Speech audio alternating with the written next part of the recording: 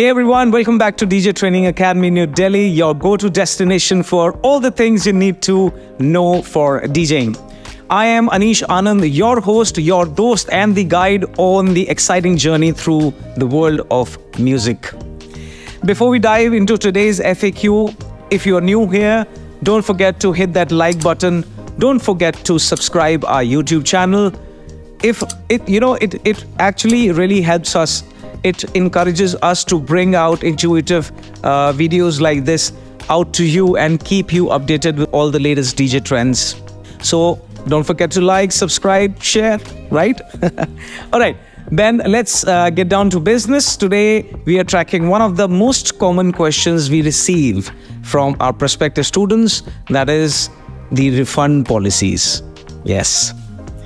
What are the DJ Training Academy's refund policies? Well, to put it simply, we have a strict no refund policy. Once you have paid your fee, whether it's for your course or any other services, refunds will not be issued under any circumstances.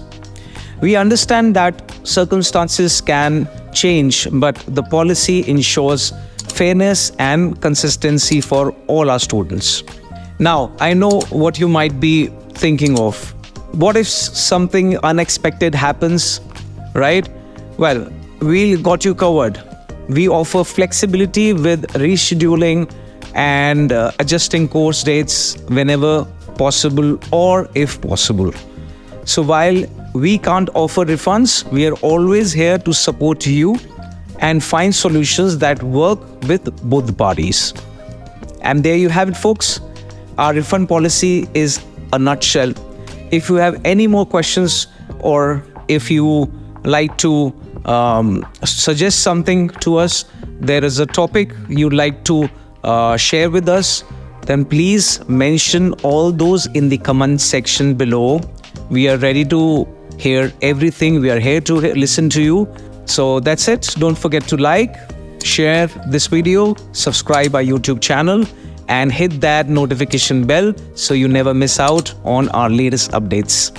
Also, don't forget to check out our recent FAQ videos uh, where we have mentioned uh, some answers to your questions, your common questions. I'll be uh, stating the link in the description below.